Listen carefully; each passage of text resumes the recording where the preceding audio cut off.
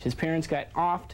They cacked him. He's cheesed. He's going to go out. He's going to kick the crap out of people. He could use a little therapy.